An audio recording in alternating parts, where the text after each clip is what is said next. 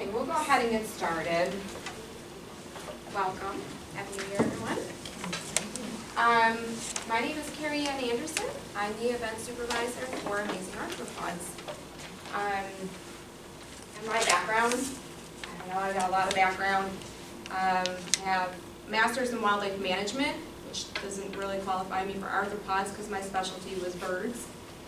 Um, I taught at Wayne State University in the Department of Education, so I at least have an understanding of uh, what, how children test and how to study, so I might be helpful in that aspect. Um, I work at Lake St. Clair uh, Metro Park in the Nature Center area, and um, we host workshops for this particular event.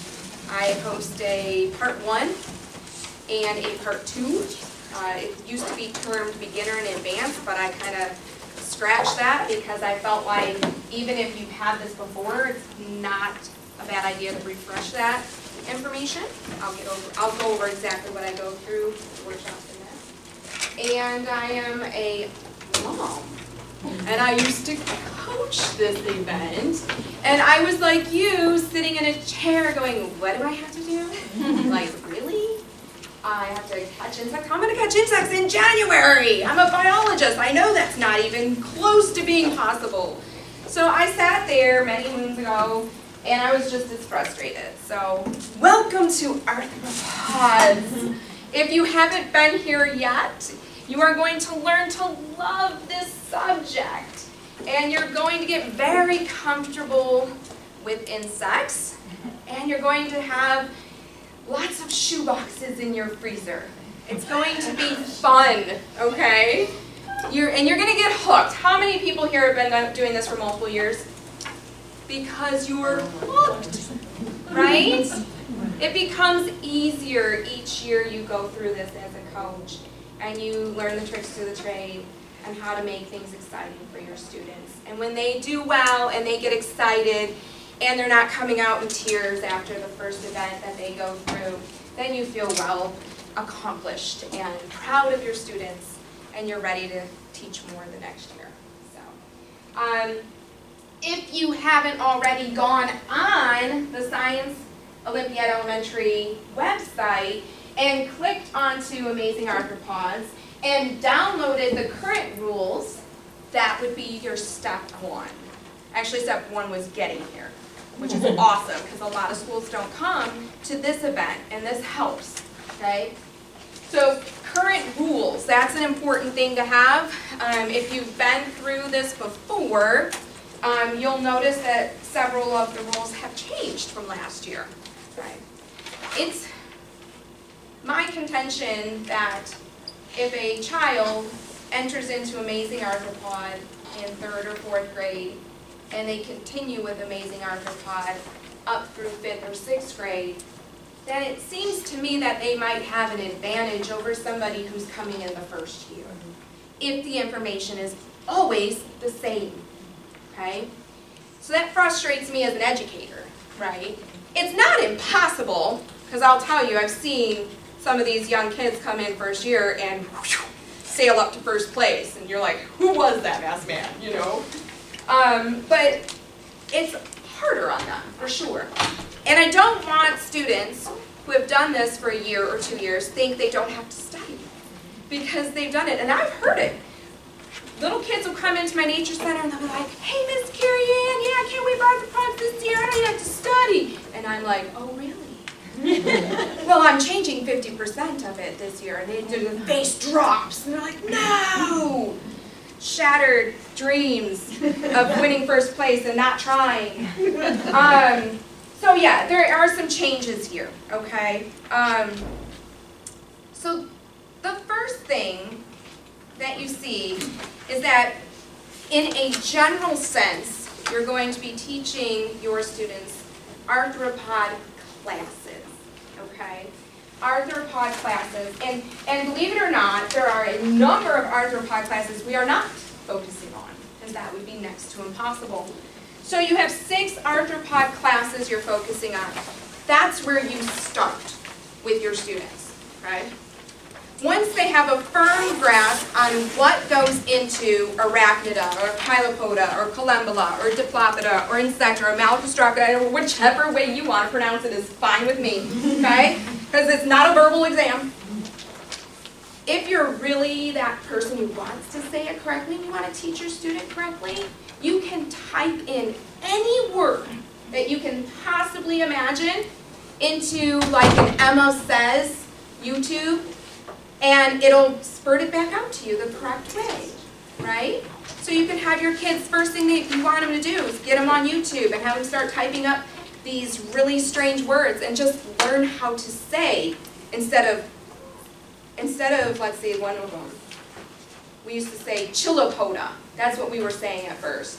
And then we typed it in, it was chilopoda. Why is it chilopoda? It's a CH, but you know, it gets confusing for kids. Um, Ephemeroptera, that's a fun one, right? They're gonna, it's like a tongue twister. So you can just have them learn how to use the words themselves. Um, but once they're comfortable with the arthropod classes, then we dive further into one particular class, and that is Insecta. Not everything they're learning is an insect. So as a coach, you're going to catch yourself calling a spider an insect. You go, oh, wait, that's not an insect, you know. Um, so then we dive into insect orders. And I believe there's 12 of those. Let's see, four. 14. Oh, 14, sorry. Oh yes, I added Ephemeroptera and Megaloptera because of the common misconception along Lake St. Clair of what a fish fly is. Yes, if, if you think you know what a fish fly is, you might be pleasantly surprised that you've been lied to all these years. Um, so there's like, did anybody look that up or is anyone surprised when you were like, oh, that's not actually a fish fly. Wait a minute, what is a fish fly? And then you look at Megaloptera and you're like, whoa, I've never seen a fish fly in my life. okay, um, so we dive into these insect orders here. So after they know the classes and then they dive into the insect orders, that's when you move into some specific species information.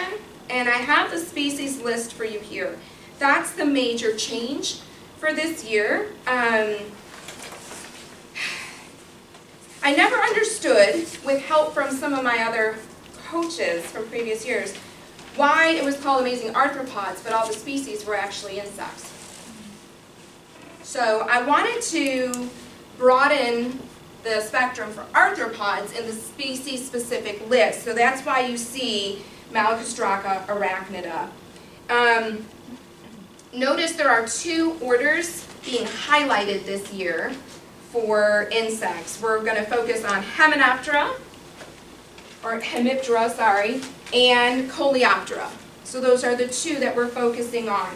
Why did I choose those two? Because they're commonly um, uh, misidentified between the two. They have a lot of um, similarities. Next year, it will not be Hemiptera and Coleoptera. It'll be another two orders from the Insecta um, category. That will keep it, the playing field a little bit new for the kids who have already had this before. So that's, um, that's how I would recommend studying the massive amount of information you need to know. Um, the study guide has been reduced dramatically. For those of you who were not here before, the study guide lost about 40 pages this year. Thank you. Yep. to help focus you on um, what I think is more applicable for our uh, elementary age children. Um, so when you look at the study guide, which is available to you to download and print, there's a nice table of content. It tells you the basic taxonomy of arthropoda. Um, talks a little bit about anatomy. Why is an arthropod an arthropod and not something else? Um, there is a identifying key in here for you that you'll have your students kind of play with. If you remember from your old bio courses, it's uh, like classification keys where you, the dichotomous key where you ask a question when you're looking at a specimen and you answer that question. Depending on how you answer it, you either have the result, or you have to keep going and asking more questions until you get a result. It's, it's a way of looking at a specimen and understanding key terms like if it has eight legs or not, right? Um, if it has wings or not, okay? Um, and then of course it gets very specific as you're getting closer to the actual um, answer to the question. And then also a big focus on metamorphosis. And you have all the specifics for each type of metamorphosis process and who belongs where and why in this study guide. So those are some additional pieces of information. As far as new information for studying purposes, I developed this workbook for you. So this way, you can make multiple copies of these worksheets, give them to your students, and see how they do. Okay? The first time it's going to be a learning process. They're going to use the internet. They're going to use books from the library. They're going to um, ask Alexa, I don't know. But they're going to find the information, then you look it over and make any corrections and discuss. And then this is a tool that you can continue each week when you meet, meet with your students to see if they have achieved that level of knowledge. And this is mainly in terms of arthropod classes. And then it also focuses on the two insecta orders. Um, and it's a lot of anatomy. Why do I focus on anatomy? It's because that's what places them in those specific categories when classifying. So um, it's, it's important to know the anatomy in order to understand why things are classified as such. So I made that for you. Um, as far as the as far as the species go, I developed a workbook. So if you were to make a workbook for each species, you could divvy it up amongst your teammates and say, hey, you're going to take these three species this week and you're going to take these three species and you answer the questions in the workbook based on those species. Then they come back together the next week and you have them discuss it and teach each other. Not every child has to know every detail, right? They're working as a team. And when you teach something, you learn it and you know it more than you do if you're just um, reading it. So, Is that available on the website? Yeah. Mm -hmm. I have a filled out one and a blank one. The blank one, obviously, you would make multiple copies, and the filled out one gives you as a coach a little bit more information as to what I'm actually asking. I mean, some of it's draw or copy a paste a, or, uh, or paste a picture of the arthropod here. So I have to find it on the internet. Uh, any cool facts you found. If you find a cool fact about something and you share it with a child, they're more likely to remember that thing because they think it's cool. Um, describe the habitat. Now, if I just told you to describe the habitat, you might be like all over the board. You could look up habitat of a centipede and read like 45 pages and be like, well, what does she really want? Well, I gave you bullet points. Where would you most likely find this arthropod? What does this arthropod need for food? When are you most likely to see it in Michigan? And how does it survive its winter? four very simple questions for an elementary age student. So this workbook is available to you as well. Do you, do you have an answer guide for the first one too? The, like the workbook, the, not the study guide, but the workbook that you did, the other workbook? Do you have an answer guide for that, or is it like they're doing it I and you could almost? get you an answer guide. I don't know if you would need it, but yes. Okay, A lot of it's found in the study guide, oh, okay, except for maybe the last two pages. So yeah, I could, Okay. I could post that easy. Just throw the answers on there, highlight them, and okay. call it a coach's manual. And and that, that workbook's available on the site as well? Yes, Okay. absolutely.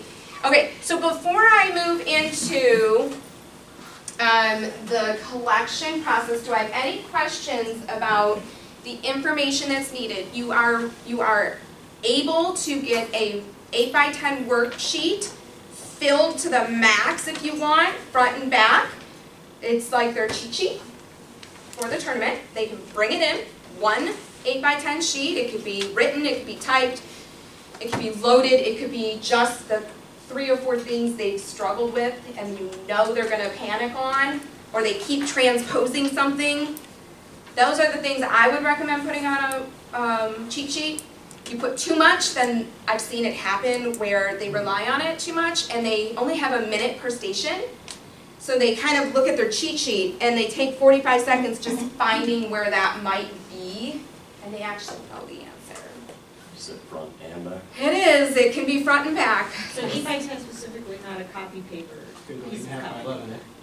No, it says eight and a half by eleven. Eight and a half by 11, thank you very much. Make sure they. You're funny. Yeah, go by the rules. They're all posted, but a sheet of paper, yeah, just can't be some poster board, you know.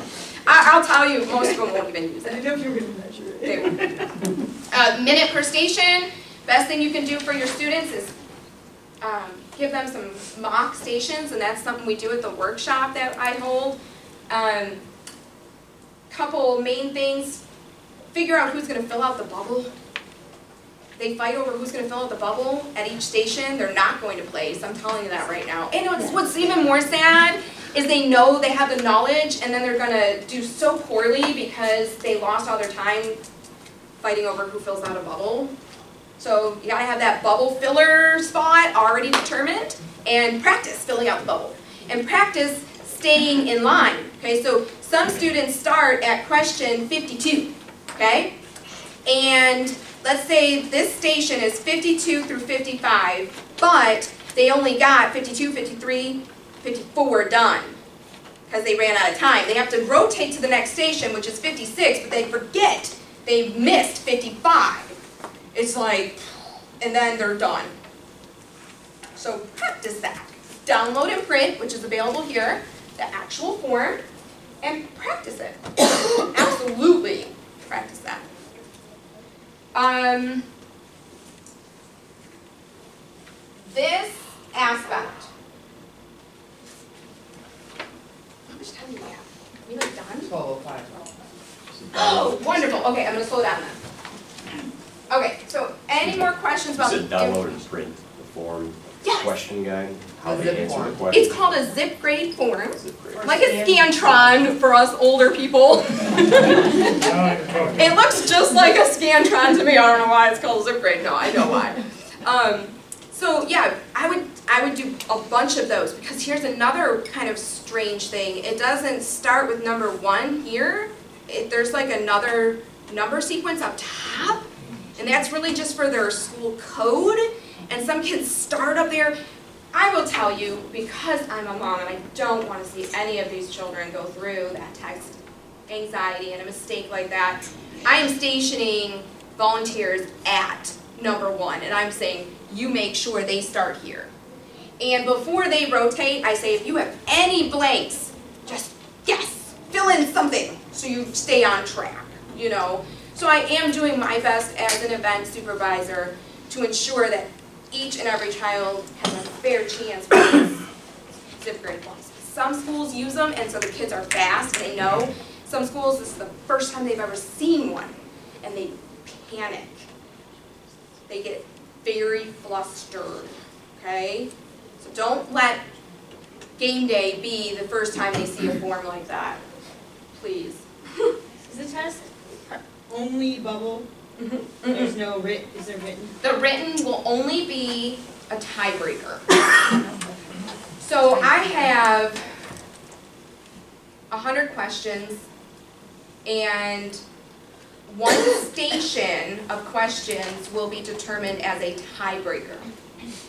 The only time I look at the tiebreaker is if there's a tie. I don't grade it at all unless there's a tie.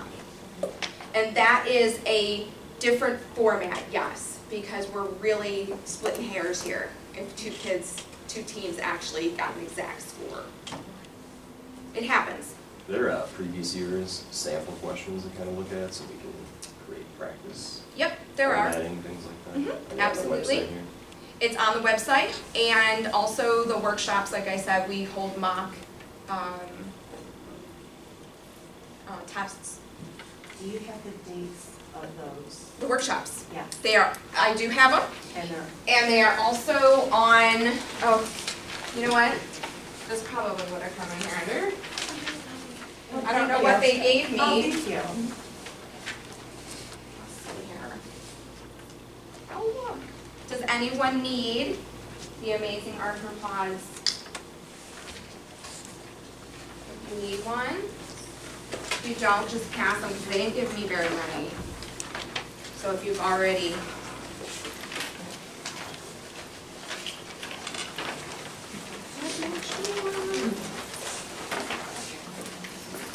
It's just the rules.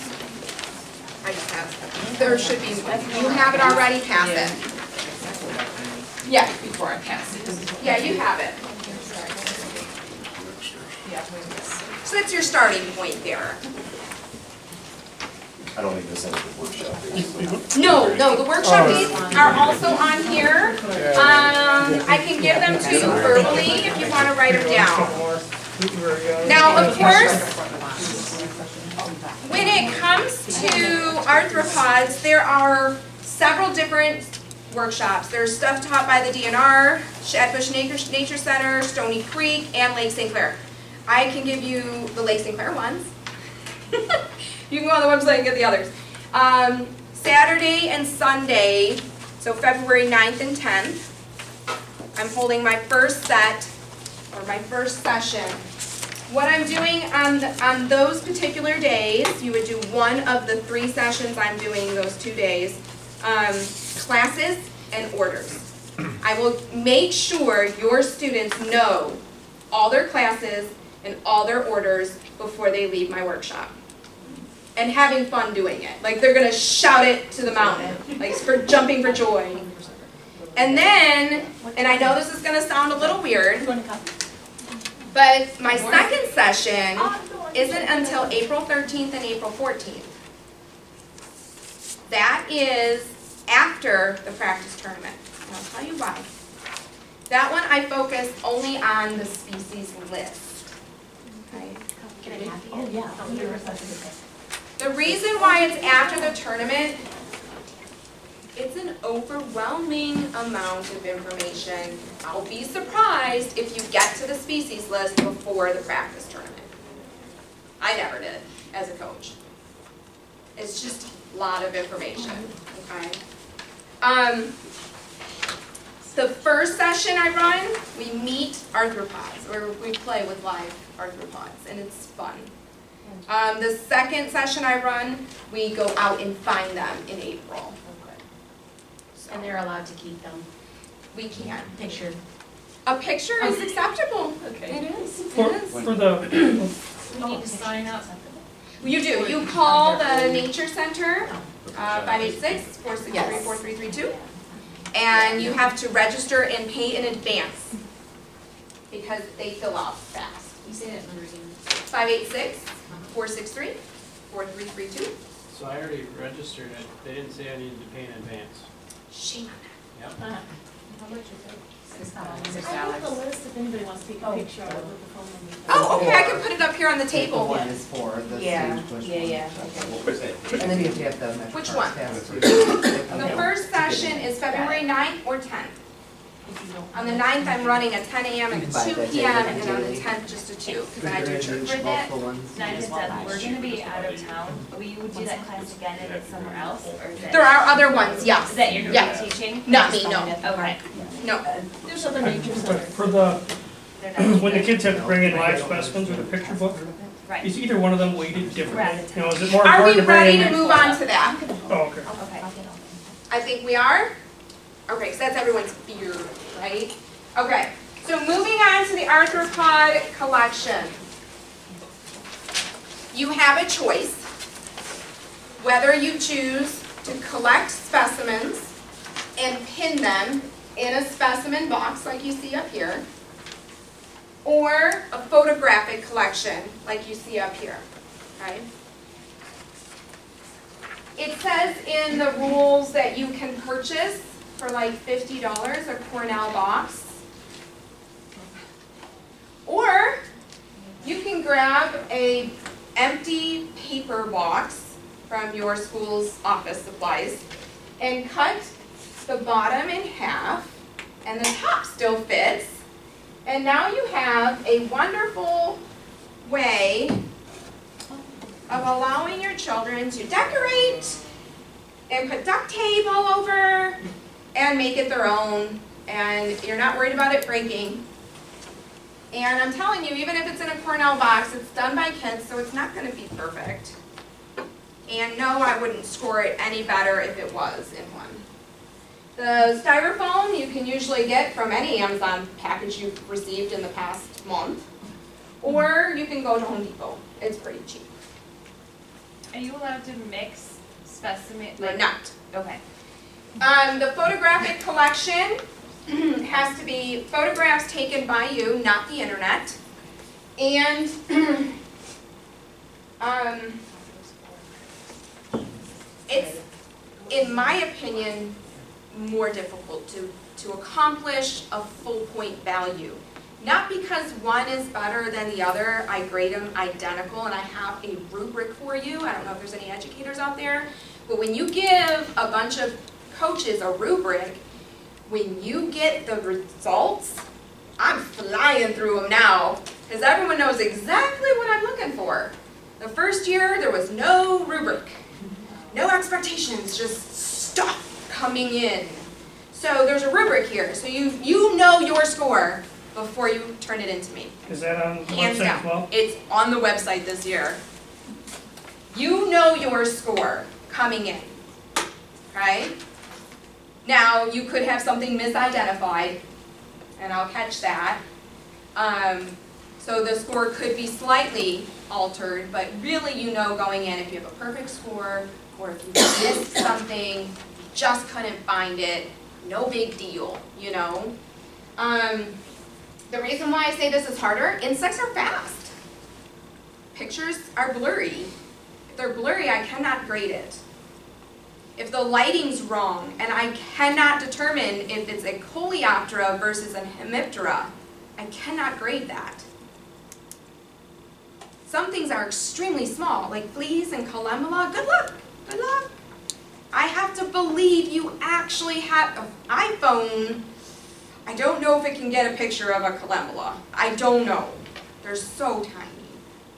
So, and if you're you're in that stage where you're like, I don't want to kill things, well, in order to get a picture of a lot of these things, you're gonna have to freeze them, just to get them immobilized, to get a picture of them. So, just saying. Okay, you're gonna you're gonna get desperate one day. You're like, I can't get a picture. Oh, just kill it anyway. You know. I mean, it's hard. It's hard. But I put a photographic collection up here. They received a 98 out of 108 points. Um, where were their point deductions at? They did not get two orders. That's it. That's all that was wrong. They just didn't find two orders. So a 98 out of 108, I would bat this team placed. That's a high score. The- I also look for duplication. I will look at these pictures, all the picture ones I put together, and I look for duplication. I find duplicated pictures. So I do find them off the internet. Yikes. Okay? Um, are you, as a coach, gonna go and catch all these insects and make your kids watch you as you do? Yikes, okay? Sometimes I question those boxes a little bit. So it's just, it's, it's your moral moment, okay? You just tell the kids, I'm sorry, we didn't find a calendula. We're not gonna throw a bunch of dirt in a vial and say we did And try to pull one off on Miss Kariann. It's just not going to happen, okay? We're going to go in, we're going to hold our head up high and turn in what we have even though we missed two orders. Right? Own it. This is what you, this is how hard you work, this is what you have, you're going to turn it in and you're going to do your best. So. Um, In terms of have the rubric for people. Go ahead, ask questions. Well, in terms of the insects that are supposed to be in the collection, are they supposed to mirror the list that we have here? Or is it any insects that you find, that you want to label, or order? Here's the thing. On this, if, I don't have a lot, so we'll just see what comes out of there. Sorry, guys. Okay. So on the rubric, the first thing it states is you get three points for every arthropod class collected. Okay. Are you restricted to Arachnida, Chilopoda, Collembola, Diplopoda, Insectae, and Malacostraca? No. You could find a different arthropod class. But those are the common ones, okay? So you can have a maximum of six unique classes. So any more than that, it's a moot point. I'm not scoring them, okay? So your max score for class is 18. Your max score for insect order is 50. And it says five points for each unique insect order, maximum 10. Okay? I have the word other there because sometimes people surprise me with the thrip or something. I'm like, whoa, where did they find that? That's so cool. You know, but these are the common ones. So yeah, it's usually those. Do they have, and they have to be from this area? Midwest region, Okay. yes. So if somebody goes on vacation to Florida or Tennessee or something, that doesn't go? No. Okay. No. Um, and then it's a 30 specimen thing. So here's the thing, and the specimen cannot be a duplicate. Meaning, if you meet the criteria of Hymenoptera because you found an ant, you can't give me 30 ants. Right? One, that's gonna give you zero point, or it's only gonna give you three points for finding an insect. It's only gonna give you five points for finding a Hymenoptera out of 50, right? And you're not gonna get 30 because it's the same, if it's the same species of ant. Now, is this is the pavement ant versus the carpenter ant versus, you know, termite, all this stuff, yeah, fine, I'll give you scores for those. But it's 30 specimens maximum. You start throwing 60 specimens in there and it's just gonna be harder for me to grade. Find your best 30, because when they pin, things are gonna go wrong. So when you collect a roly-poly, a Malacostraca, don't just get one, get like 20, okay? This is like insect pinning 101, best one to choose to try, okay? You gotta relax them out of the roll, you gotta get that pin in right or they break in half. So you don't want the one amazing praying mantis that you found dead on a piece of wood when you were looking in the log, pile. You don't want that to be the first thing they pin. Okay? Because then the tears are going to happen, right?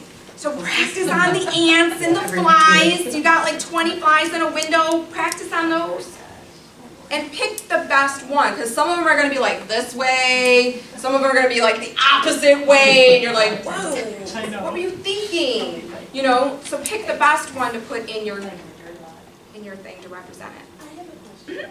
So last year, I had a third grader who wasn't really uh, Dexter. Yeah. So, yeah. and um, is it going to be acceptable? Last year we took, and if it was a really hard to pin object, we put it on a tiny cardboard triangle. Yep, And then it's you in the glued it to the triangle, and then you were just pinning the, The triangle. triangle in. It's so right here. Cracking the body apart. This is available to you, and it gives you helpful hints for those little tiny things. Okay? It also states now you are allowed to use insect vials. The vials are for soft-bodied organisms only. I'm going to be a stickler on the grading for this, okay? So please don't give me 30 vials, which it happened last year. First of all, there, it's difficult to identify something in a vial as a person grading, scoring. So these vials are filled with alcohol. There's a video on here to teach you exactly how to pin, a video to teach you exactly how to use the vials. Soft body things. Spiders are wonderful in these, right? Because their legs are going to fall off. You're going to freeze them, you're going to bring them out, and all their legs are gone. And then you can't really call it a spider. Okay? I have to be able to identify it. Okay? Spiders go in here. Uh, centipedes go in here. Their legs fall off. Freeze them first, don't just throw them in alcohol. Trust me, your kids will see something really amazing if you do that. Not good. Freeze them first, make sure they're dead. You understand that some things have to stay in a freezer for months before they're actually dead, right? What? Spiders, they have. Yeah, because they'll come back to life. Because they winter in Michigan, No. months in your freezer. Is Make sure they're done done. too? Yeah, it is actually. Each critter?